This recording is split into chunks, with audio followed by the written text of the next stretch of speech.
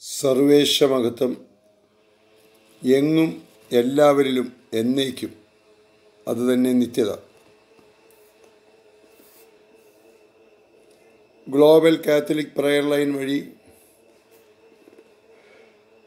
Emmanuel Satya Satyananda എന്ന പ്രകാ ഏകംശത്ത് പുസ്തക വായനയിലൂടെ ശ്രവിച്ചുകൊണ്ടിരിക്കുന്ന ലോകമെങ്ങുമുള്ള പ്രിയപ്പെട്ട ശ്രോതാക്കളെ നമുക്ക് ദൈവസ്നേഹത്തിൽ പരസ്പരം സ്നേഹിച്ചും ആ സ്നേഹം പരസ്പരം പകർന്നു കൊടുത്തും ഈ ശുശ്രൂഷയിൽ പങ്കുകൊള്ളാം.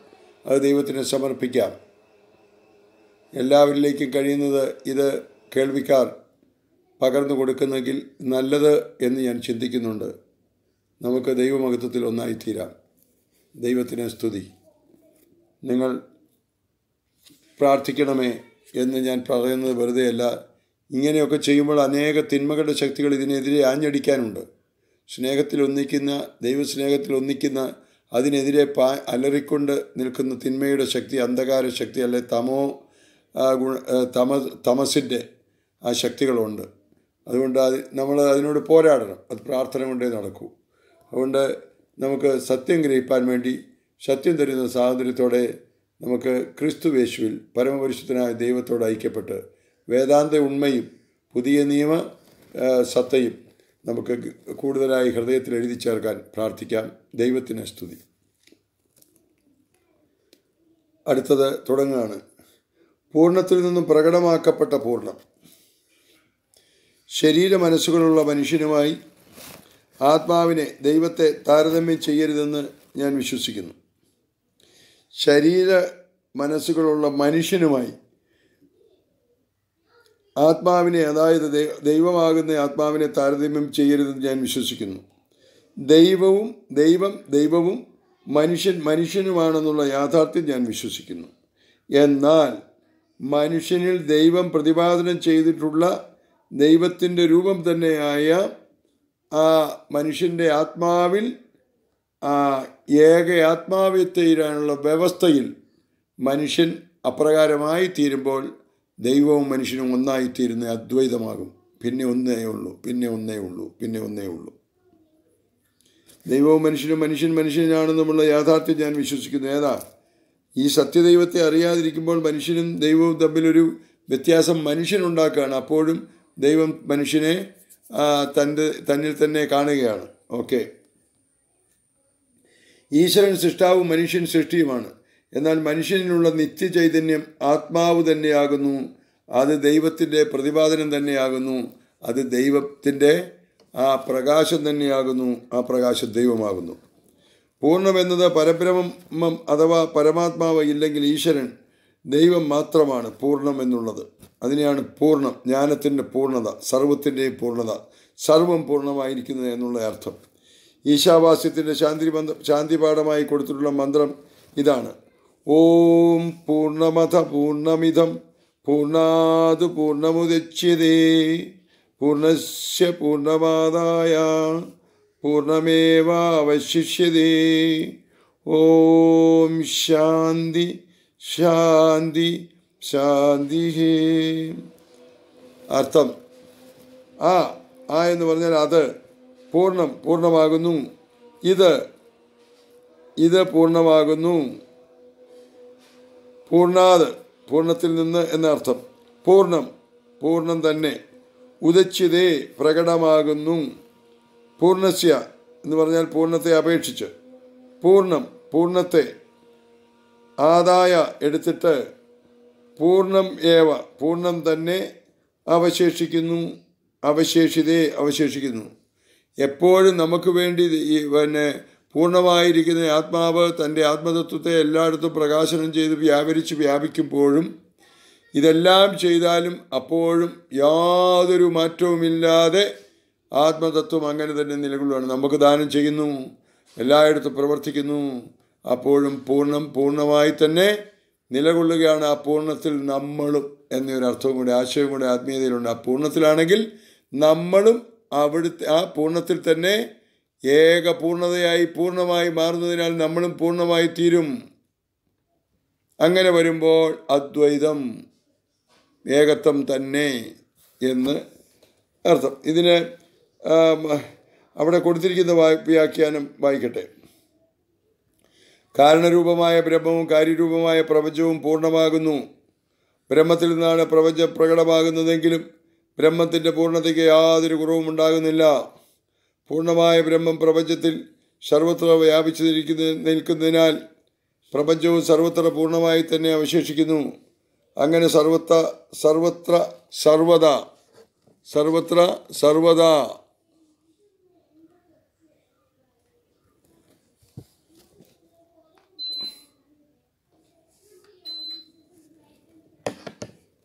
അങ്ങനെ സർവത്ര സർവദാ സർവത സർവഥ വിളങ്ങുന്ന ആ പൂർണതയെ സാക്ഷാത്കരിക്കാനുള്ള കഴിവ് നമുക്കുണ്ടാകട്ടെ.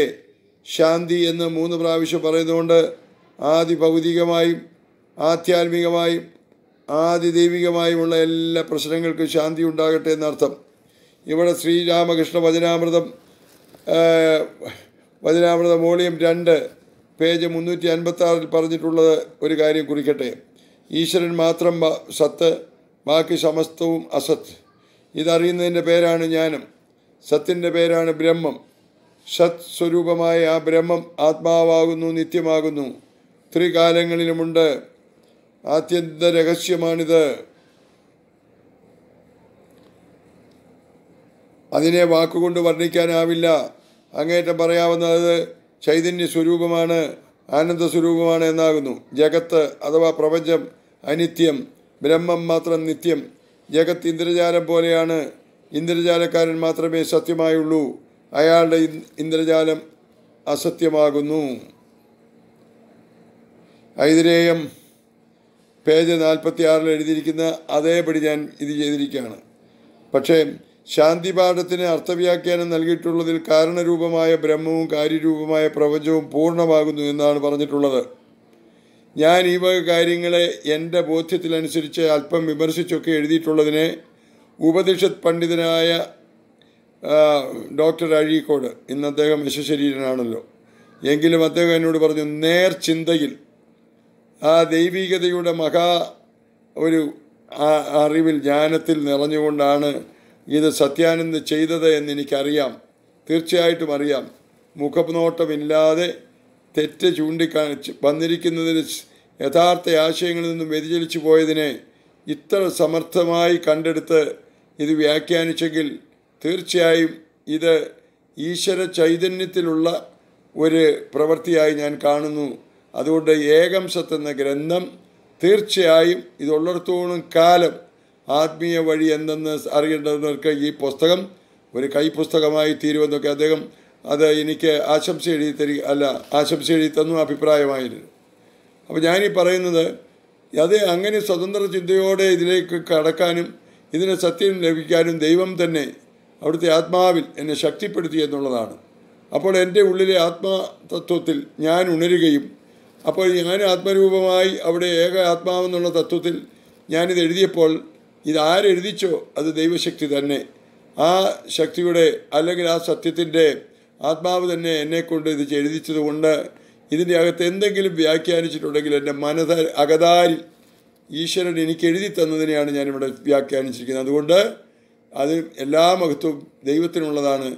ഞാനതിന്റെ ആ അവിടുത്തെ കരങ്ങളിൽ ഒരു ഉപകരണമായിരുന്നു എന്നത് മാത്രം. ഓം ശാന്തി ശാന്തി ശാന്തി ശാന്തി പാഠത്തിന് അർത്ഥവ്യാഖ്യാനം നൽകിയിട്ടുള്ളതിൽ കാരണരൂപമായ ബ്രഹ്മവും കാര്യരൂപമായ പ്രപഞ്ചവും പൂർണമാകുന്നു എന്നാണ് പറഞ്ഞിട്ടുള്ളത്. ശ്രീരാമകൃഷ്ണമഠം പ്രസിദ്ധീകരിച്ച ഉപനിഷത്ത് ഗ്രന്ഥങ്ങളാണ് എന്റെ കൈവശമുള്ളതെന്ന് ഞാൻ മുൻ പേജുകളിൽ സൂചിപ്പിച്ചിട്ടുണ്ട്. ശ്രീരാമകൃഷ്ണ വചനാമൃതവും എന്റെ കൈവശമുണ്ട്. ശ്രീരാമകൃഷ്ണ പരമവംശം തന്നെ പറയുന്നു ബ്രഹ്മം മാത്രം സത്ത് പ്രപഞ്ചം സത്തല്ല എന്ന്. ബ്രഹ്മം നിത്യം പ്രപഞ്ചം അനിത്യം എന്നെല്ലാം. അപ്പോൾ ശാന്തിപാഠത്തിന്റെ വ്യാഖ്യാനത്തിൽ പറയുന്നതിന് പറയുന്നതിന് എതിരായിട്ടാണ് ശ്രീരാമകൃഷ്ണൻ പരമംസ തന്നെ പറഞ്ഞിട്ടുള്ളത് വരുന്നുണ്ട്. ശ്വേതശ്വരത ഉപനിഷത്ത് ആറ് ആറിൽ എന്താണ് പറഞ്ഞിട്ടുള്ളത് നോക്കുക. സ വൃക്ഷകാലാകൃതി പരോ അന്യോ യസ്മാത് പ്രപഞ്ച പരിവർത്തത്രേ പരിവർത്തതേ അയം പരിവർത്തതേ അയം. ധർമാവഹം പാപാനുദം പകേശം ജാത്വാത്മസ്തമൃതം വിശ്വധാമ ശേതശ്വരമാറിന്റെ ആറ് അർത്ഥം എന്റെ കൈവശമുള്ള പുസ്തകത്തിൽ നിന്ന്. ഈ പ്രപഞ്ചം യാതൊരുവൻ മൂലമുണ്ടായി പ്രവർത്തിച്ചുകൊണ്ടിരിക്കുന്നു.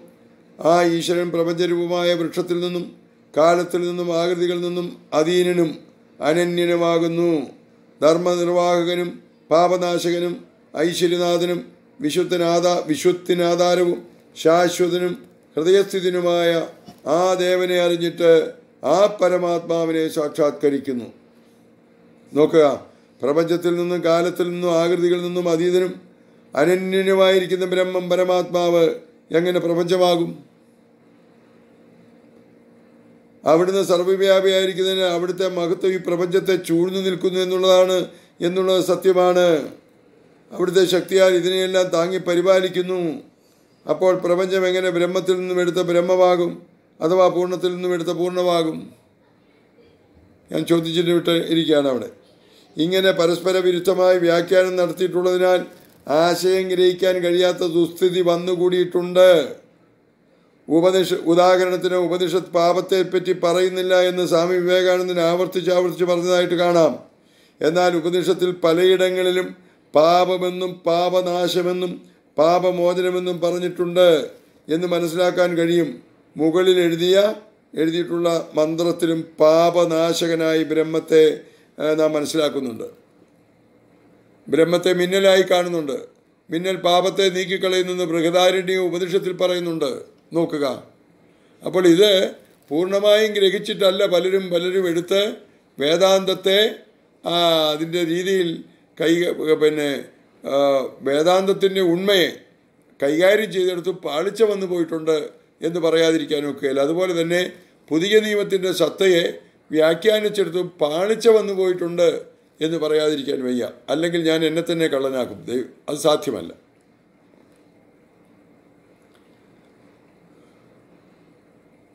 അതുകൊണ്ട് സ്വതന്ത്രമായ പഠനം നല്ലതാണെന്ന് ഞാൻ കരുതുന്നു. അതിനാൽ ഞാൻ ദൈവത്തിൽ ഈശ്വരനിൽ ആശ്രയിക്കുന്നു. എന്നാണ് അവിടെ എഴുതിയിരിക്കുന്നത്. ശാന്തി മന്ത്രത്തെ ശാന്തി മന്ത്രത്തെ പറ്റി ശ്രീ സുകുമാർ അഴീക്കോട് പറയുന്നത് എന്തെന്ന് നോക്കുക? ഉപനിഷത്ത് പോലെ തന്നെ ഈ ശാന്തി മന്ത്രവും മനസ്സിലാക്കാൻ ബുദ്ധിമുട്ടാണ്. അത് അതും ഇതും പൂർണമാണെന്നും പൂർണത്തിൽ നിന്ന് പൂർണമെടുത്താൽ ബാക്കിയാകുന്നത് പൂർണം തന്നെയാണെന്നുമാണല്ലോ മന്ത്രത്തിന്റെ വാച്യമായ അർത്ഥം. ഈ അർത്ഥം അപ്പടി അപ്പടി അതേപടി നോക്കിയാൽ പൂർവ പൂർവാപര വൈരുദ്ധ്യം നിറഞ്ഞു നിൽക്കുന്നു. മിസ്റ്റിസിസത്തിന്റെ മിസ്റ്റിസിസത്തിന്റെ ഒരു സ്വഭാവമായാണ് യുക്തിക്ക് പിടികിട്ടാത്ത വിധത്തിലുള്ള പൂർവാപര വൈരുദ്ധ്യം.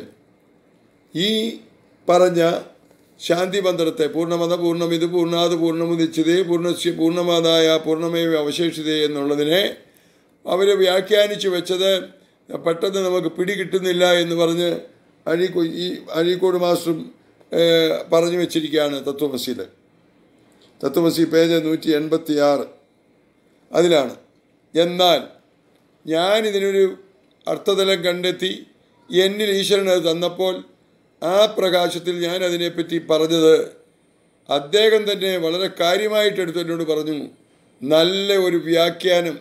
ഇതുവരെയുള്ളതിൽ നിന്ന് കുറച്ചുകൂടി ഉയർന്ന തരത്തിൽ ചിന്തിക്കുവാൻ സത്യാനന്ദന് കഴിഞ്ഞല്ലോ.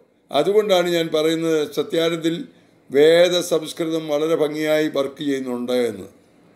അതിന്റെ ആഴങ്ങളിലേക്ക് ഞാനിപ്പോൾ കടക്കുന്നില്ല. എന്തുമാകട്ടെ ഞാനിത് ചെയ്തതല്ല. എന്നെക്കൊണ്ട് ഈശ്വരൻ എന്ന പരമസത്യം എന്നെ ഒരു ഉപകരണമാക്കി ഇത് എഴുതിച്ചിരിക്കുന്നു എന്ന് മാത്രം ഞാൻ കരുതുന്നു. അതുകൊണ്ട് നിങ്ങളും എനിക്ക് വേണ്ടി പ്രാർത്ഥിക്കുക. ഈശാവാസത്തിന്റെ ശാന്തി മന്ത്രം ഭാരതീയ ആധ്യാത്മിക സാഹിത്യത്തിൽ ഏറ്റവും പുകൾപ്പെട്ടിരിക്കുന്നു. അതിലടങ്ങിയ തത്വം എന്താണെന്ന് അറിയുന്നവർ വളരെയധികം ഉണ്ടാവുകയില്ലെങ്കിലും അതിന്റെ നേരിയ മണമെങ്കിലും അകലെ നിന്ന് ഏറ്റിട്ടില്ലാത്ത വല്ലവരും ഇന്നാട്ടിൽ ഉണ്ടാവില്ലെന്ന് കരുതാം. നേരിയ മണമെങ്കിലും അകലെ നിന്ന് ഏറ്റിട്ടില്ലാത്ത വല്ലവരും ഇന്നാട്ടിൽ ഉണ്ടാവില്ലെന്ന് കരുതാം. ഇതിനെപ്പറ്റി എല്ലാവരും കേട്ടിട്ടുണ്ട് പറഞ്ഞിട്ടുമുണ്ട് തത്വമസി നൂറ്റി എൺപത്തി ആറ് മിസ്റ്റിസിസത്തിന്റെ മിസ്റ്റിസിസത്തിന്റെ അഭാവ സ്വഭാവം യുക്തിക്ക് പിടികിട്ടാത്ത വിധത്തിലുള്ള പൂർവാപര വൈരുദ്ധ്യമാണെന്ന് അഴീക്കോട് മാഷ് പറഞ്ഞിട്ടുള്ളത് ശരി തന്നെ. അതുകൊണ്ട് ഞാനൊരു മിസ്റ്റേക്ക് അല്ലാത്തതിൽ എനിക്ക് സന്തോഷമുണ്ട്. എങ്കിലും പറഞ്ഞത് സാധാരണ ജന എന്തെങ്കിലും പറഞ്ഞ് സാധാരണ ജനത്തെ വലയ്ക്കേണ്ടതില്ലല്ലോ. ഉള്ള ബോധ്യങ്ങൾ പരസ്പരം തുറന്നു പങ്കുവെച്ച് ഈശ്വരകൃപയാൽ നിർഭയരാ നിർഭയമായി എളിമയോടെ ജീവിച്ചാൽ മതിയാവുന്ന മതിയാകുമെന്നാണ് എന്റെ വിശ്വാസം. ഇനി ചില ചില കാര്യങ്ങൾ എന്റെ ബോധ്യത്തിൽ എനിക്ക് ബോധ്യപ്പെട്ടതിനെ കുറിക്കട്ടെ ഈ മന്ത്രത്തെ സംബന്ധിച്ച്. ഈ പ്രപഞ്ചം നമുക്ക് അനുഭവമാണ്. എന്നാൽ പ്രപഞ്ചത്തിൽ സൃഷ്ടികളുടെ മകുടമായ മനുഷ്യനില്ലെങ്കിൽ പ്രപഞ്ചത്തിൽ ഒന്നിന് യാതൊരു മൂല്യവുമില്ല. അപ്പോൾ പ്രപഞ്ചത്തിന്റെ മൂല്യനിർണയം മനുഷ്യനിൽ അടിസ്ഥാനപ്പെടുത്തി വ്യവസ്ഥ ചെയ്യ ചെയ്യപ്പെട്ടിരിക്കുന്നു എന്നുള്ള സത്യം നാം അവഗണിക്കരുത്. ഇപ്രകാരം ചിന്തിക്കുമ്പോൾ പ്രപഞ്ചം ഉരുവാകുന്നതിന് മുമ്പേ മനുഷ്യനെ ഉരുവാക്കുന്നതിനെപ്പറ്റി ബ്രഹ്മം ദൈവം ആലോചിച്ചിട്ടുണ്ട്. അതുകൊണ്ട് സൃഷ്ടപ്രപഞ്ചം മനുഷ്യനെന്ന ഉത്കൃഷ്ട സൃഷ്ടിക്ക് വേണ്ടി ഈശ്വരൻ അവിടുത്തെ ആലോചനയിൽ സംവിധാനം ചെയ്ത് അവതരിപ്പിച്ചിരിക്കുന്നു. മനുഷ്യന് ഭൂമിയെ വാസയോഗ്യമാക്കുന്ന പരിണാമ ചംക്രമണ പ്രക്രിയയിൽ വാസയോഗ്യമായി ഈ ഭൂമിയിൽ മനുഷ്യനെ ദേഹവും ദേഹിയും ബോഡി ഷോൾ എന്ന അവസ്ഥയിൽ വെളിപ്പെടുത്തി. മനുഷ്യനെ മാത്രം തന്നിൽ ചേർത്ത് ഒന്നായിരിക്കുന്നതിന് വേണ്ടിയാണ് ഈശ്വരൻ ഉളവാക്കിയത്. മനുഷ്യന് മാത്രം തന്നെ തന്നെ നൽകുന്ന അവസ്ഥയും മനുഷ്യനിൽ ഉറപ്പിച്ചു. അതുതന്നെയാണ് മനുഷ്യന്റെ ആത്മാവെന്ന മനുഷ്യനിലെ നിത്യപ്രകാശം. അത് മനുഷ്യന്റെ ആത്മാവ് തന്നെ. മനുഷ്യനെ പറ്റി ഐതിരൂപനിഷ്ഠത്തെ പേജ് പതിനഞ്ചും പതിനാറിലുമായി കാണുന്നത് ഇവിടെ പകർത്തി എഴുതാം. മനുഷ്യന് തന്റെ ബുദ്ധിശക്തി കൊണ്ടും വിവേകശക്തി കൊണ്ടും നിത്യസത്യയുടെ ഉയർന്ന തലങ്ങളിലേക്ക് ഉയരുവാനുള്ള കഴിവുണ്ട്. മറ്റൊരു സൃഷ്ടിക്കുമില്ലാത്തത്.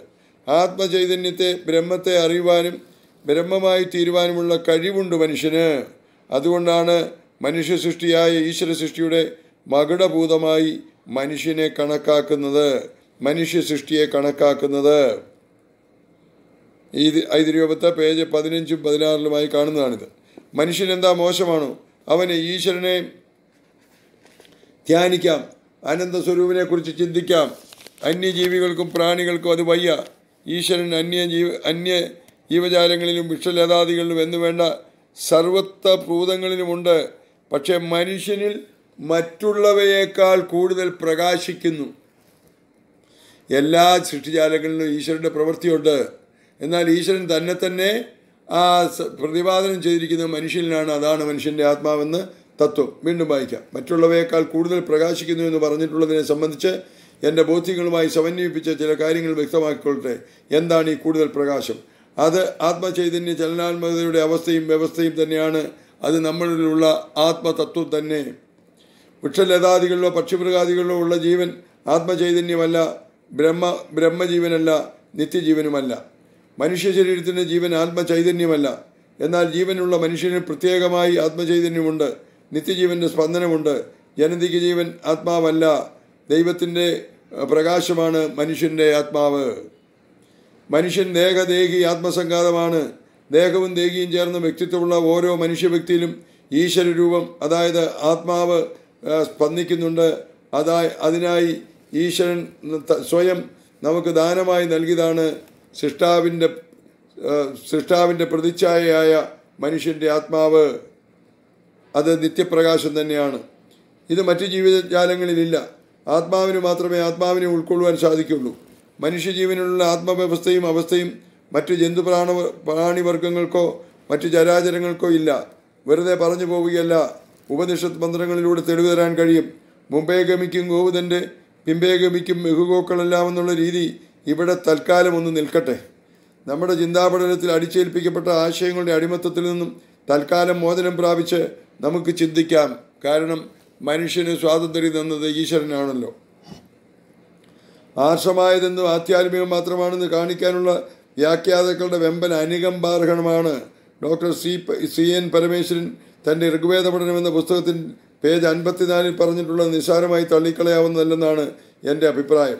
അതുപോലെ തന്നെ ഞങ്ങളും ബൈബിളും മാത്രമാണ് ആധ്യാത്മികതയുടെ അവസാന വാക്കെന്നുള്ള ക്രിസ്ത്യാനിയുടെ നിലപാട് എത്രമാത്രം അവക്കുമാണ് പുതിയ നിയമസത്ത എന്തെന്ന് ഗ്രഹിച്ച ക്രിസ്ത്യാനി എവിടെ?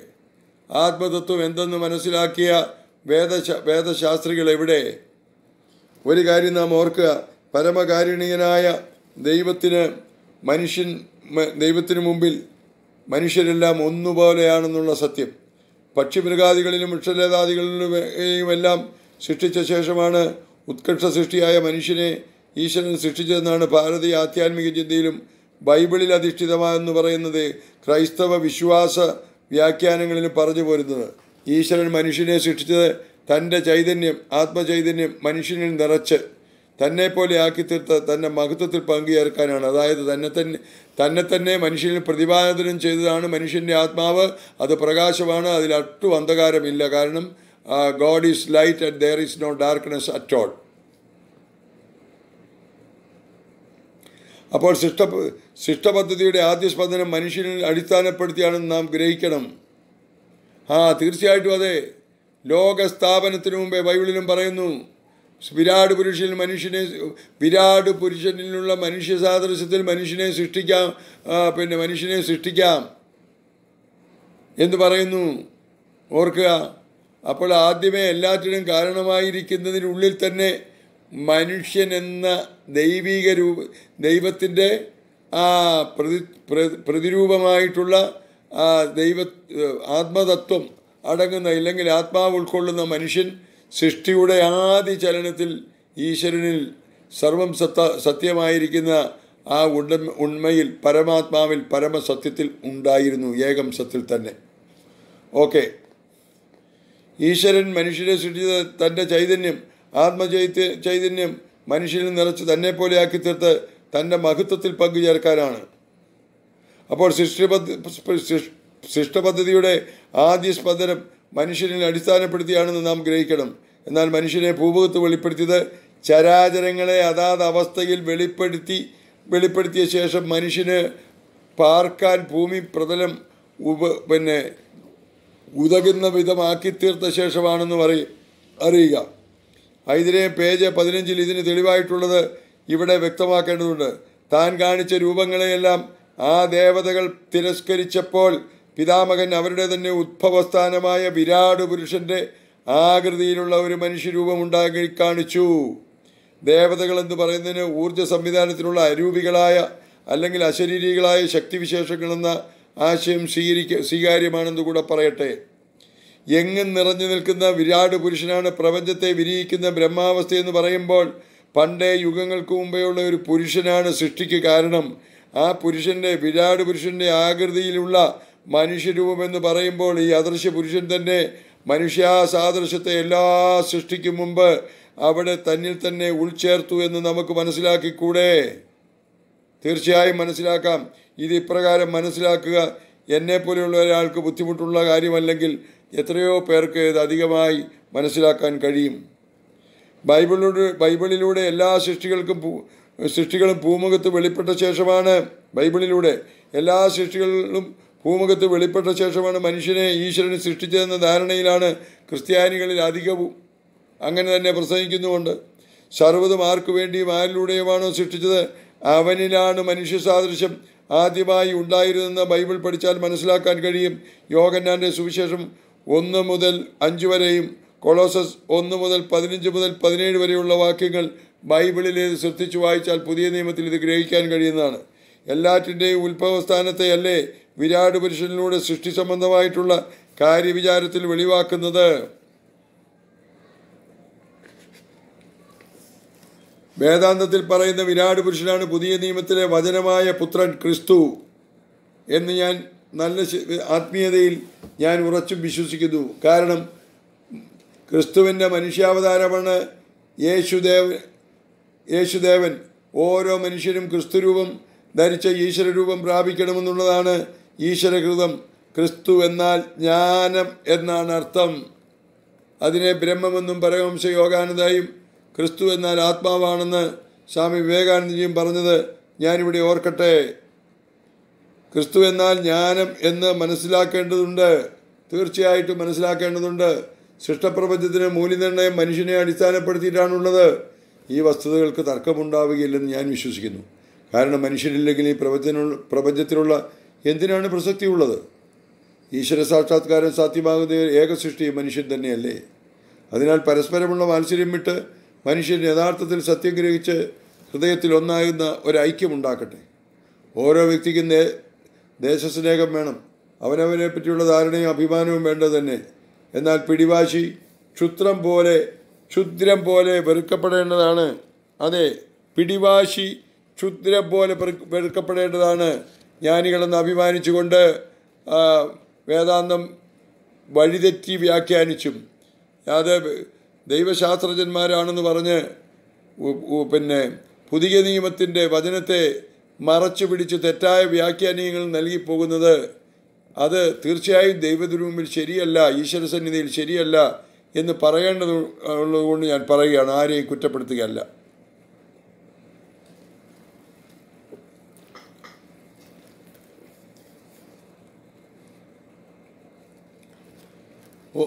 പ്രപഞ്ച സൃഷ്ടിപ്പിന്റെ ആദ്യ സ്പന്ദനം മനുഷ്യനിലാണ് സൃഷ്ടാവ് തുറന്നത്. ഈ കാലഘട്ടത്തിൽ സ്റ്റീഫൻ ഗോക്കിസിനെ പോലുള്ളവരും ഇപ്രകാരം ചിന്തിക്കുന്നുണ്ടെന്ന് പറയട്ടെ അദ്ദേഹം ഇന്ന് ജീവിച്ചിരിപ്പില്ലല്ലോ. ഇനി ശാന്തി പാഠത്തെപ്പറ്റി എനിക്കുള്ള ബോധ്യം എന്താണെന്ന് വിനയത്തോടെ പറയാം. വിനയത്തോടെ തന്നെ.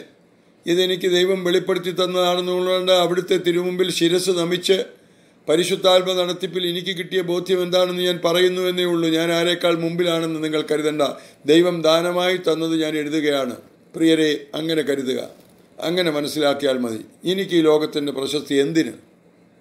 ഈ മണ്ണ് ഇവിടെ അടിഞ്ഞു തീരും എന്റെ ശരീരം. ഞാൻ എന്റെ സൂക്ഷ്മതയിൽ ആത്മാവോടായി തീർന്നുകൊണ്ട് ആത്മരൂപത്തിൽ ഞാൻ എന്റെ മരണസമയത്ത് ഈശ്വരനോട് ചേരും. അതിനുള്ള അതിന്റെ വ്യവസ്ഥകൾ അനുസരിച്ചെന്ന് തന്നെ ഞാൻ വിശ്വസിക്കുന്നുണ്ട്. അതിനാൽ എന്റെ ഈ ഭൂമിയിലെ വേർപാടെന്ന മരണത്തെ ഞാൻ അത്യധികം സന്തോഷത്തോടെ ഇപ്പോഴേ ആസ്വദിച്ചു കൊണ്ടിരിക്കുകയാണ്. ഈശ്വരന് സ്തുതി ഈശ്വരന് സ്തുതി. ഓം ശാന്തി ശാന്തി ശാന്തി പൂർണത്തിൽ നിന്നും എടുത്ത പൂർണം പൂർണം തന്നെയാണ്. പ്രകടമാക്കിയ പൂർണവും പൂർണം തന്നെയാണ്.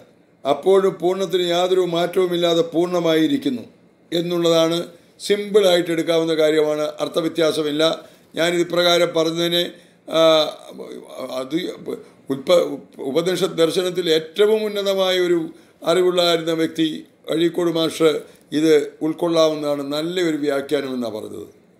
അദ്ദേഹം ഇന്നില്ല. എങ്കിലും ആത്മാവിൽ അദ്ദേഹം ഇതും ഒരുപക്ഷെ കേൾക്കുന്നുണ്ടെങ്കിൽ അപ്രകാരമാകാമല്ലോ. കള്ളം പറഞ്ഞിട്ട് എനിക്കെന്ത് തേടാൻ? ഇത് ഞാൻ എഴുതിയതല്ല. നിങ്ങളുടെ ഉള്ളിലെരിയുന്ന ആ വൈദിക സംസ്കൃതം അത് ദൈവികതയാണ്. അതാണ് നിങ്ങളെ കൊണ്ട് എഴുതിച്ചതെന്ന് തുറന്നു പറയാനും അദ്ദേഹം മടിച്ചില്ലെന്നുള്ളത് ഓർക്കണം. അപ്പോൾ ഇതെന്റെതല്ല. എന്നിലേക്ക് വന്നു. നിങ്ങളിലേക്ക് തരാൻ വേണ്ടി ഞാൻ ഈ പുസ്തകത്തിലൂടെ പകർത്തി തന്നു. അത്രമാത്രം. അത്രമാത്രം. എല്ലാ മഹത്വവും നമ്മുടെ ദൈവത്തിന് ഏകസത്യ ദൈവത്തിന് മാത്രം. ഓക്കെ. പൂർണത്തിൽ നിന്ന് പൂർണത്തിൽ നിന്നും എടുത്ത പൂർണം പൂർണം തന്നെ. പ്രകടമാക്കിയ പൂർണവും പൂർണം തന്നെ. അപ്പോഴും പൂർണത്തിന് യാതൊരു മാറ്റവും ഇല്ലാതെ പൂർണമായിരിക്കുന്നു തുടരുന്നു. വീണ്ടും ബ്രഹ്മത്തിൽ നിന്നും വെളിപ്പെട്ട ബ്രഹ്മം ബ്രഹ്മം തന്നെ. ബ്രഹ്മം പ്രകടമാക്കുന്ന ബ്രഹ്മവും ബ്രഹ്മം തന്നെ. അപ്പോഴും ബ്രഹ്മം പരബ്രഹ്മം പരമാത്മാവ് ബ്രഹ്മം തന്നെ. വീണ്ടും അത് എന്ന പൂർണത്തിൽ നിന്നും വെളിപ്പെട്ട ഇത് പൂർണം തന്നെ പ്രകടമാക്കപ്പെട്ടതും പൂർണം തന്നെ. ഇവിടെയെല്ലാം നമ്മളും വരുന്നുണ്ടെന്നേ. അവിടുന്ന് ആത്മാവാണെങ്കിൽ ഈ നമ്മളിലൊക്കെ നിക്ഷേപിച്ച ആത്മാവും പൂർണമാണ്. ആ ആത്മാവ് മനുഷ്യനായി അവതരിക്കുമ്പോഴും അതും പൂർണമാണ്. പിതാവിൽ നിന്നും വെളിപ്പെട്ട പ്രകടമാക്കപ്പെട്ട ആത്മതത്വമാണ് പുത്രൻ. ആ പുത്രതത്വത്തെ ഇവിടെ വെളിപ്പെടുത്തുന്ന ആത്മതത്വമാണ് പരിശുദ്ധ ത്രീ പരിശുദ്ധാത്മാവ്. The Holy Spirit. അത് തന്നെ വേദവേദാന്ത പഠനങ്ങളിലൂടെ വളരെയും വ്യക്തമാക്കുന്നുണ്ടെന്ന് പറയട്ടെ. അപ്പോൾ അതിനോട് ബന്ധപ്പെട്ട് എനിക്കിങ്ങനെ ചിന്തിച്ചപ്പോൾ പുതിയ നിയമത്തിൽ വെളിപ്പെട്ട സത്യം ഉൾക്കൊണ്ട് കഴിഞ്ഞപ്പോൾ ഇത് എനിക്ക് വളരെ ശക്തമായി എന്റെ ഉള്ളിൽ ഒരു നന്മയായി തീർന്ന് എഴുതപ്പെട്ടു. അത് ഞാൻ അഴീക്കോട് മാഷെ പോലെയുള്ള ജ്ഞാനികളോട് പറഞ്ഞപ്പോൾ ഇത് സ്വീകാര്യമാണെന്നും നല്ല രീതിയിൽ ഇത് വ്യാഖ്യാനിക്കാൻ കഴിഞ്ഞല്ലോ എന്നും പറഞ്ഞു. അതിനും ദൈവത്തിനും മഹത്വം. ആത്മീയ ആശയം എനിക്ക് ബോധ്യമായത് ഇപ്രകാരമാണ്. ബ്രഹ്മം ആത്മാവ് സ്വയം തന്നെ സ്വയം തന്നെ തന്നെ വെളിപ്പെടുത്തുന്ന ജ്ഞാനശക്തി വ്യാപിത്തം ബ്രഹ്മം തന്നെയാകുന്നു സ്വയം വെളിപ്പെടുത്തിയിട്ടുള്ള വിരാട് വിരാട് പുരുഷൻ അവസ്ഥയിൽ നിന്നും ബ്രഹ്മം തന്നെ വീണ്ടും പ്രകടമാക്കുന്നു. അതും ബ്രഹ്മം തന്നെ. പ്രകടമാക്കുന്നതും ബ്രഹ്മമാകുന്നു. അപ്പോഴും മാറ്റമില്ലാത്ത ബ്രഹ്മം പൂർണമായിരിക്കുന്നു. അതായത് സർവസൃഷ്ടിക്കുമായി ബ്രഹ്മം സ്വയം വ്യാപനം ചെയ്യുന്ന ചെയ്യുന്ന വിരാട് പുരുഷൻ ഹിരണ്യഗർഭൻ എന്നൊക്കെ പറയുന്ന ബ്രഹ്മ അവസ്ഥയാണ് ബ്രഹ്മത്തിൽ നിന്നുള്ള ബ്രഹ്മം ദൈവത്തിൽ നിന്നുള്ള ദൈവത്വമായ പുത്ര പുത്രതത്വം എന്ന് ഞാൻ പറയാം. അഥവാ പൂർണത്തിൽ നിന്നുള്ള പൂർണം അത് പ്രപഞ്ചമല്ല. കാര്യമായിട്ടുള്ള പ്രപഞ്ചത്തിന്റെ കാരണം തന്നെയാണത് പൂർണത്തിൽ നിന്നുള്ള പൂർണം. പൂർണത്തിന്റെ അദൃശ്യമായ ശക്തിയും ജ്ഞാനവും രഹസ്യവുമാണത്. പൂർണം തന്നെ ആ പൂർണം വെളിപ്പെട്ട പൂർണം പ്രകടമാക്കുന്നതും പൂർണമെന്ന് പറയുമ്പോൾ ഈഹത്തിൽ ഈശ്വരനെ അറിയാനും പ്രകടമാക്കാൻ കഴിയുന്ന മനുഷ്യനാണ്. അതിനാൽ തന്നെ പ്രകടം പ്രകടമാകുന്ന പൂർണം മനുഷ്യനിലാണ് അത് മനുഷ്യന്റെ ആത്മവ്യവസ്ഥയാണ്. അതിനാൽ തന്നെ ഈ പറയുന്ന മൂന്ന് അവസ്ഥകളിൽ ഒന്ന് മനുഷ്യനെയും ഉൾപ്പെടുത്തിയിട്ടുണ്ട്. കാരണം ദൈവത്തിന്റെ രൂപത്തിലും സാദൃശ്യത്തിലുമാണ് മനുഷ്യനെ സൃഷ്ടിച്ചത്. വിരാട് പുരുഷനുള്ള മനുഷ്യ സാദൃശ്യത്തിലാണ് മനുഷ്യനെ സൃഷ്ടിച്ചതെന്ന് ഐതിരേവ് പറയുന്നു. ബ്രഹ്മത്തിന് നാശമില്ല ആത്മാവിന് നാശമില്ല. അപ്പോൾ പ്രപഞ്ചം പ്രപഞ്ചം എന്ന കാര്യം പൂർണമാണെങ്കിൽ നാശമുണ്ടാകാൻ പാടില്ല. ദൃശ്യപ്രപഞ്ചത്തെ പറ്റിയാണ് ഞാൻ പറഞ്ഞു വരുന്നത്. അനുഭവമായിട്ടുള്ള പ്രപഞ്ചത്തെ പറ്റി തന്നെ. അത് അപ്പോൾ അത് ഇനി നാശമുള്ളതാണെങ്കിൽ ഒരിക്കലും നാശമില്ലാത്ത ബ്രഹ്മത്തിന്റെ അത് ആ പൂർണമാണ് വെളിപ്പെട്ട പൂർണമെന്ന് വ്യാഖ്യാനിക്കുന്നത് തെറ്റാണ്. പിന്നെയും ബ്രഹ്മത്തിന് നാശമില്ല ആത്മാവിന് നാശമില്ല. അപ്പോൾ പ്രപഞ്ചം കാര്യം പൂർണമാകണം പ്രപഞ്ചം. അതായത് കാര്യം പൂർണമാണെങ്കിൽ നാശമുണ്ടാകാൻ പാടില്ല. ദൃശ്യപ്രപഞ്ചത്തെ പറ്റിയാണ് ഞാൻ പറഞ്ഞു വരുന്നത്. അനുഭവമായിട്ടുള്ള അനുഭവമായിട്ടുള്ള പ്രപഞ്ച- പ്രപഞ്ചത്തെ പറ്റി തന്നെ. ശാന്തി മന്ത്രത്തിന്റെ വ്യാഖ്യാനത്തിൽ ഈശോവാസി ഉപദേശത്തിൽ പറഞ്ഞിട്ടുള്ള കാരണരൂപമായ ബ്രഹ്മവും കാര്യരൂപമായ പ്രപഞ്ചവും പൂർണമാകുന്നത് എന്നാണ്. അത് എങ്ങനെയായിത്തീരും ഒരിക്കലും ആകുകയില്ല സർവശിഷ്ട വസ്തുക്കളും ഉൾപ്പെടുന്ന പ്രപഞ്ചം പൂർണവും നാശമില്ലാത്തതുമാണോ എന്ന് പ്രിയപ്പെട്ടവരെ നിങ്ങൾ സ്വബു സ്വന്തം ബുദ്ധി വിവേകത്താൽ ചിന്തിക്കുക. അപ്പോൾ സത്യം അറിയാൻ കഴിയുമല്ലോ. ശാസ്ത്രം പറയുന്നു പ്രപഞ്ചത്തിന് ആരംഭമുണ്ട് പ്രപഞ്ചത്തിന് അവസാനവുമുണ്ട് പരബ്രഹ്മത്തിന് ആദ്യ അന്ത്യങ്ങളില്ലെന്നുള്ളത് വാസ്തവം. ആത്മീയതയുടെ ഏറ്റവും ദിവ്യമായ രഹസ്യവും ഉന്നതമായ ചിന്തയും അതുതന്നെ അമേരിക്കയിൽ ഡള്ളസിലെ ഒരു ഹൈടെക് കമ്പനിയുടെ സബ് ചെയർമാൻ റോയി എബ്രഹാം വർഗീസ് മതം ശാസ്ത്രം തത്വശാസ്ത്രം തുടങ്ങിയ വിഷയങ്ങളെക്കുറിച്ചുള്ള പല അന്തർദേശീയ സെമിനാറുകളും വിദഗ്ധമായി സംഘടിപ്പിച്ചിട്ടുണ്ട്. അദ്ദേഹവും സുഹൃത്തും കൂടി പ്രസിദ്ധീകരിച്ച കോസ്മോസ് ബയോസ് തി Bios Theos nineteen ninety two എന്ന പുസ്തകം വളരെ പ്രശസ്തമാണ്. ടെമ്പിൾട്ടൺ ഫൗണ്ടേഷൻ ധനസഹായം ചെയ്യുന്ന ദൈവശാസ്ത്രത്തിന്റെയും ശാസ്ത്രങ്ങളുടെയും കേന്ദ്രം റോയിയും പ്രൊഫസർ കോളി ക്ലോഫി ക്ലിഫോർഡ് മാത്യൂസും കൂടി നയന്റീൻ നയന്റി ഫൈവിൽ പ്രസിദ്ധീകരിച്ച Cosmic beginnings and human ends Where Science and Religion Meet എന്ന പുസ്തകം ഒരു ആ വർഷം പ്രസിദ്ധീകരിച്ച ഏറ്റവും നല്ല നാല് പുസ്തകങ്ങളിലൊന്നായി തിരഞ്ഞെടുക്കുകയും പുസ്തകത്തിന് അവാർഡ് ലഭിക്കുകയുണ്ടായി. ശ്രീ റോയി എബ്രാഹിം വർഗീസ് പറയുന്നത് ശ്രദ്ധിക്കുക. ഉന്നത ശീർഷരായ ഏതാനും ശാസ്ത്രജ്ഞന്മാർ അവരിൽ ചില ദൈവവിശ്വാസികൾ പോലുമല്ല പ്രപഞ്ചോൽപത്തിയെപ്പറ്റിയുള്ള ബൈബിൾ കഥയിലേക്ക് തന്നെയാണ് ആധുനിക ശാസ്ത്രം ആധുനിക ശാസ്ത്രം വിരൽ ചൂണ്ടുന്നതെന്ന് പറയുന്നു. എനിക്ക് സുപരിചിതനായ പ്രശസ്ത വ്യോമശാസ്ത്രജ്ഞൻ റോബർട്ട് ഗ്യൂസ്ട്രോ നാസായിലെ ഇൻസ്റ്റിറ്റ്യൂട്ട് ഓഫ് സ്പേസ് സ്റ്റഡീസിന്റെ സ്ഥാപകനാണ്. ഈശ്വരവിശ്വാസിയല്ല. പക്ഷേ പ്രപഞ്ചോൽപ്പത്തിയെപ്പറ്റിയുള്ള ശാസ്ത്രം ഇപ്പോൾ അനാവരണം ചെയ്യുന്ന അറിവും ബൈബിളിലെ സൃഷ്ടികഥയും സമാനമാണെന്ന് അദ്ദേഹവും പറയുന്നു. കോസ്മോസ് ബിയോസ് തിയോസിലെ നൊബേൽ ജേതാവായ ആർത്തെ പെൻസിയസ് അതിനോട് യോജിക്കുന്നു. ആയിരത്തി തൊള്ളായിരത്തി എഴുപത്തെട്ടിൽ അദ്ദേഹത്തിന് നോബൽ സമ്മാനം ലഭിച്ചത് ബിഗ് ബാങ് സിദ്ധാന്തം സ്ഥിരീകരിച്ചതിന്റെ പേരിലായിരുന്നു. പ്രപഞ്ചത്തിന് സമയബദ്ധമായ ആരംഭമുണ്ടെന്നും പ്രപഞ്ചം നല്ലതാണെന്നുമുള്ള ബൈബിൾ സിദ്ധാന്തം കാര്യമായി എടുക്കുക തന്നെ വേണമെന്ന് അദ്ദേഹവും പറയുന്നു. സൃഷ്ടപ്രപഞ്ചത്തെപ്പറ്റിയുള്ള വേദവേദാന്ത ചിന്തകളിലും ഏറെക്കുറെ ഇതിനോട് നിൽക്കുന്ന ഇതുപോലെ തന്നെയുള്ള ചിന്തയുണ്ടെന്നും ഓർക്കുക. പ്രപഞ്ചത്തിന് സമയബദ്ധമായ ആര- ആരംഭമുണ്ടെന്ന് ശാസ്ത്രം സമ്മതിച്ചു. അപ്പോൾ ആരംഭമുള്ളതിന് അവസാനവും ഉണ്ടെന്നുള്ളതിന് സംശയമില്ല. എന്നാൽ ബ്രഹ്മം ആത്മാവ് ആരംഭമുള്ളതല്ല അവസാനമുള്ളതും ഉള്ളതും അല്ല. അത് പൂർണം തന്നെയാണ്. അതിന് ആരംഭവും അവസാനവുമില്ല അപ്പോൾ പ്രപഞ്ചം എങ്ങനെ പൂർണമാകും? വ്യാഖ്യാനത്തിൽ വന്ന പശുവിനെയാണ് ഞാൻ തിരുത്തുന്നത്. ബൈബിളിലെ പ്രപഞ്ച സൃഷ്ടിയെപ്പറ്റിയുള്ള പഠനത്തിൽ ജീവജല ജീവജാലങ്ങൾ ജലത്തിൽ തുടങ്ങുന്നു. പ്രപഞ്ച ശൂന്യതയിൽ നിന്ന് ഉരുവാകുന്നു. പരിണാമം പോലും ഉൽപ്പത്ത പുസ്തക ഉൽപ്പത്തി പുസ്തകത്തിൽ ദർശിക്കുവാൻ കഴിയും. പരിണാമം. മില്യൺ മില്യൺ വർഷങ്ങളിലൂടെയാണ് പ്രപഞ്ചം ഇപ്രകാരമായി തീർന്നതെന്ന് പല ബൈബിൾ വ്യാഖ്യാതങ്ങളും സമ്മതിക്കുന്നുണ്ട് സ്പീഷീസുകളുടെ പരിണാമത്തെ അംഗീകരിക്കാൻ ബൈബിൾ തടസ്സമാകുന്നില്ല. ഭാരതീയ ആധ്യാത്മിക വെളിപ്പെടുത്തുകളിൽ ഇതേ കാര്യം വളരെ വ്യക്തമാക്കുന്നുണ്ട്. ഈശാവാസ്യ ഉപനിഷത്തിന്റെ ഒന്നാം മന്ത്രം ശ്രദ്ധിക്കുക. അവിടെ പറയുന്നത് എന്താണ്? പ്രപഞ്ചത്തിലുള്ളതിനെയെല്ലാം ഈശ്വരനെ കൊണ്ട് ആത്മചൈതന്യം കൊണ്ട് മൂടണമെന്നാണ്. പ്രപഞ്ചം തന്നെ പൂർണമായ ബ്രഹ്മമാണെങ്കിൽ അഥവാ ആത്മാവെങ്കിൽ പിന്നെ എന്തിനാണ് ഈശ്വരനെ കൊണ്ട് പ്രപഞ്ചത്തെ മൂടുന്നത്? ചിന്തിക്കുക ആലോചിക്കുക സത്യം ഗ്രഹിക്കുക. ഈശ്വര ചൈതന്യത്താൽ മനുഷ്യൻ പ്രപഞ്ചത്തെ സംരക്ഷിക്കണമെന്നുള്ള ആശയമാണ് വ്യക്തമാക്കുന്നത്. അപ്പോൾ പൂർണമാകുന്ന ബ്രഹ്മം മാറ്റമില്ലാത്ത ഏകം സത്യം നാം സമ്മതിക്കുക. പൂർണം പൂർണത്തെ വെളിപ്പെടുത്തുന്നത് തന്നെ തന്നെ മനുഷ്യനിൽ പ്രകടമാക്കുന്നതിനാണ്. സൃഷ്ടപ്രപഞ്ചം വെളിപ്പെട്ടതിനെപ്പറ്റി വളരെ വ്യക്തമായി വേദ വേദങ്ങളിൽ വേദം പഠിച്ചു കഴിഞ്ഞാൽ ഇതിനോട് സമാനമായ ചിന്ത നമുക്ക് ഉള്ളിൽ ചേർക്കാൻ കഴിയുമെന്നും പറയട്ടെ. പൂർണമാകുന്ന ബ്രഹ്മം മാറ്റമില്ലാത്ത ഏകം സത്യത്തെ സമ്മതിക്കുക ഈശ്വര ചൈതന്യത്താൽ മനുഷ്യൻ പ്രപഞ്ചത്തെ സംരക്ഷിക്കണമെന്നുള്ളതാണ് ആശയം. അപ്പോൾ പൂർണമാകുന്ന ബ്രഹ്മം മാറ്റമില്ലാത്ത ഏകം സത്യം നാം സമ്മതിക്കുക പൂർണം പൂർണത്തെ വെളിപ്പെടുത്തിയത് തന്നെ തന്നെ മനുഷ്യനിൽ പ്രകടമാക്കുന്നതിനാണ്. അതുകൊണ്ട് വെളിപ്പെട്ട പൂർണം മനുഷ്യൻ എന്ന് പറഞ്ഞാൽ സർവലോകത്തുമുള്ള മനുഷ്യൻ. വെളിപ്പെടുത്തുന്നതിനാണ്. പൂർണം പൂർണത്തെ വെളിപ്പെടുത്തിയത് തന്നെ തന്നെ മനുഷ്യനിൽ പ്രകടമാക്കുന്നതിനാണ്.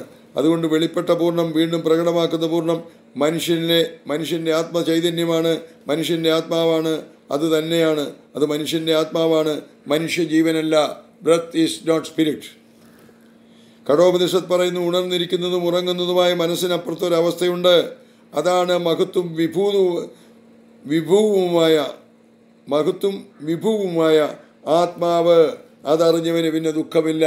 നമ്മുടെ ഉള്ളിൽ തന്നെ ദൈവരൂപം ദേഹവും ദേഹിയുള്ള മനുഷ്യനിൽ ഉണ്ട് എന്നറിയുന്നവന് പിന്നെ ദുഃഖമില്ല. കാരണം അവൻ ജഡത്തെ വിട്ട് ആത്മരൂപം പ്രാപിച്ചു. പിന്നെ ഈ ലോകമെന്ത്?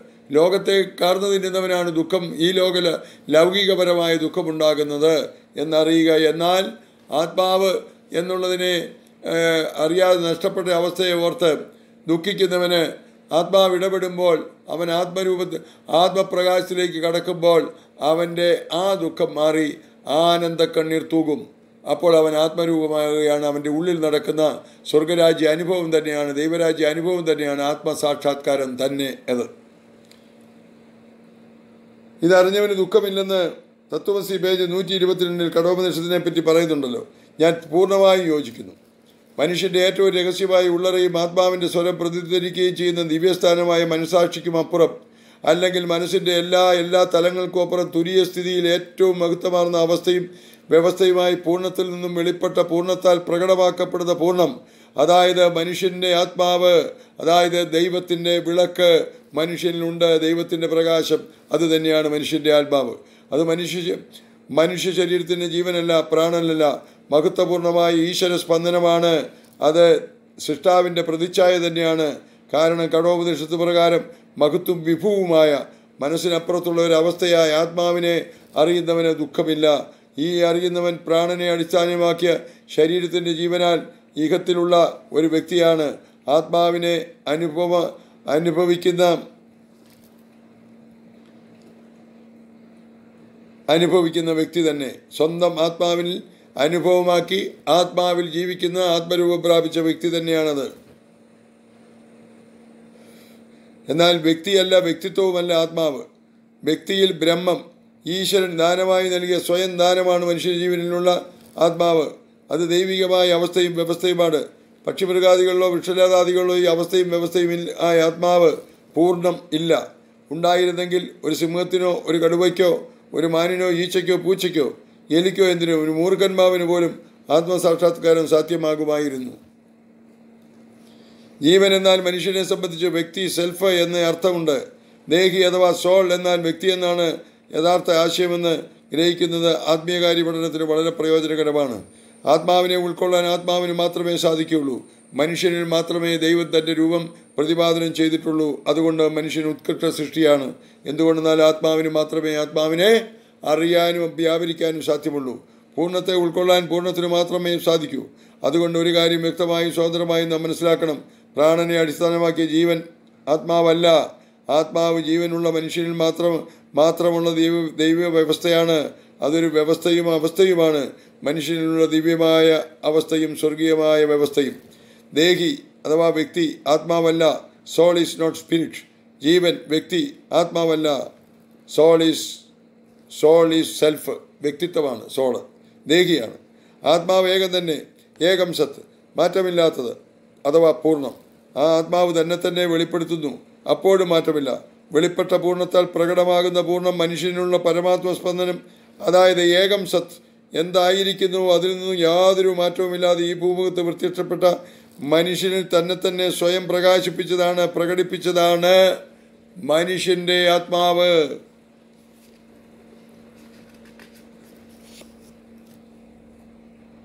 പ്രകടിപ്പിച്ചതാണ് മനുഷ്യനെ ആത്മതത്വം ആത്മാവ്. ഇല്ലെങ്കിൽ ദൈവത്തിന്റെ പ്രകാശം തന്നെയായ മനുഷ്യന്റെ ആത്മാവെന്ന് തീർത്തും പറയട്ടെ. ഇന്നും ഓരോ മനുഷ്യനിലും ഈ സ്വർഗീയ സ്പന്ദനം അനുസ്യൂതം തുടരുകയാണ്. ഏകമായ പരമാത്മാവ് എണ്ണം പറഞ്ഞ് വരികയല്ല അവിടത്തേക്ക് ഒരു മാറ്റവുമില്ല. മാറി മാറി പാർക്കുന്നുമില്ല. അവിടുന്ന് സർവവ്യാപിയാണ് ഒരു തരത്തിലും ആർക്കും കാണാൻ സാധ്യമല്ല. അനുഭവിക്കുവാനേ സാധ്യമാകുകയുള്ളൂ. അതിനാൽ ആനന്ദിക്കുവാനും. കാരണം അത് പരമാത്മാവ് എന്ന ദിവ്യമായ വ്യാപനമാണ്. എന്നാൽ മനുഷ്യ ശരീരത്തിന്റെ ജീവൻ ദൃഷ്ടിക്ക് ഗോചരമാകുന്ന വിധത്തിൽ തുടിക്കുന്നത് നമുക്ക് കാണുവാൻ കഴിയുമല്ലോ. അത് എല്ലാവർക്കും അനുഭവമാണ്. ഞരമ്പുകളിലൂടെയുള്ള രക്തപ്രവാഹത്തിലൂടെ ജീവന്റെ ചലനം നമുക്ക് വ്യക്തമാണ്. ശാസ്ത്രത്തിലൂടെയും അനുഭവിച്ചറിയാൻ കഴിയും. ശ്വസന പ്രക്രിയയിലൂടെ ജീവനെ സ്പർശിക്കാം. ഹൃദയത്തിന്റെ മിടിപ്പിൽ ജീവന്റെ ചലനം നമ്മൾ ഇച്ഛിക്കാതെ നടക്കുന്നത് നമുക്കറിയാം. എന്തിന് ഈ അക്ഷരങ്ങൾ ഈ താളുകളിൽ പതിയുമ്പോൾ എന്റെ ജീവന്റെ സ്പന്ദനം എനിക്ക് കാണാം. എന്റെ ജീവൻ ആത്മാവിലായിരിക്കുന്നത് കൊണ്ട് ഇപ്രകാരം ഒരു പുസ്തകം എഴുതുവാനും എനിക്ക് കഴിയുന്നു. ജീവനില്ലാത്ത ശരീരം നിശ്ചലമാണ്. ചലനം തന്നെ ഭൗതിക ജീവനെ വ്യക്തമാക്കുന്നു. എന്നാൽ ആത്മാവിനെ ആർക്കും ഭൗതിക തലത്തിൽ ഇപ്രകാരമൊന്നും അറിയാൻ കഴിയില്ല. ആത്മജീവനെ നിത്യജീവനെ മനുഷ്യന്റെ ഉള്ളിലുള്ള ആത്മാവിനെ അല്ലെങ്കിൽ ബ്രഹ്മമായിരിക്കുന്ന ആത്മാവിനെ വിവേചിച്ച് ആത്മാവിൽ അനുഭവിക്കാൻ കഴിയും അത്രമാത്രം ധാർമ്മികമായി എത്ര ഉയർന്ന നിലവാരം പുലർത്തുന്നയാളും ആത്മീയനാകണമെന്നില്ല. ആത്മാവിന്റെ ദിവ്യചലനം ആത്മബോധത്താൽ അനുഭവിക്കാനേ സാധിക്കുകയുള്ളൂ. ഭൗതിക വിജ്ഞാനം കൊണ്ട് നിത്യജീവന്റെ തുടിപ്പ് അനുഭവമാക്കാൻ സാധ്യമല്ല. നിത്യജീവന്റെ സ്പന്ദനം ആത്മീയമാണ്. അത് അനുഭവമാക്കുവാൻ ജ്ഞാനം മാത്രമാണ് വഴി. പൂർണത്തിൽ നിന്നും എടുത്ത പൂർണമെന്ന് പറയുമ്പോൾ ഇന്നും ആരും കണ്ടിട്ടും അറിഞ്ഞിട്ടുമില്ലാത്തതും ആർക്കും പൂർണമായി അറിയാൻ കഴിയാത്തതുമായി ഈശ്വരൻ പരമാത്മാവ് എല്ലാറ്റിനുമായി സ്വയം വെളിപ്പെടുത്തുന്ന അവസ്ഥയിൽ നിന്നാണ് മനസ്സിലാക്കേണ്ടത്. അങ്ങനെ വെളിപ്പെട്ട എങ്ങും നിറഞ്ഞ അദൃശ്യമായി വ്യാ- വ്യാപരിക്കുന്ന പൂർണത്തിൽ നിന്നും പ്രകട പ്രകടമാക്കപ്പെട്ട പൂർണം മനുഷ്യനിലുള്ള ആത്മാവാണ്. അതുതന്നെയാണ് മനുഷ്യനിലെ ആത്മതത്വം. മനുഷ്യനിലുള്ള ആത്മതത്വത്തിൽ നമ്മൾ ബൃഹത്തായ ആത്മതത്വത്തെ അനുഭവിച്ചറിയുന്നു. ഇത്രയും വായിച്ച് ഇപ്പോൾ ഇവിടെ ഈ ഭാഗം ഞാൻ ചുരുക്കുകയാണ്. അടുത്തത് പിന്നെ നമുക്ക് വായിക്കാം. അതുകൊണ്ട് അറിയാം പൂർണമത പൂർണം പൂർണമിത് പൂർണാത് പൂർണമിച്ചതേ പൂർണസ്യ പൂർണമതായ പൂർണമേവ അവശേഷിതേ. ഇവിടെ സ്വയം പ്രകടമാക്കുന്ന ദൈവിക ജ്ഞാനത്തെയും പറ്റി പരാമർശിക്കുന്നുണ്ട്. മുന്നോട്ട് വായിച്ചു പോകുമ്പോൾ അത് നമുക്ക് ഗ്രഹിക്കാൻ കഴിയും. ഈശ്വരന് സ്തുതി. ഈശ്വരന് സ്തുതി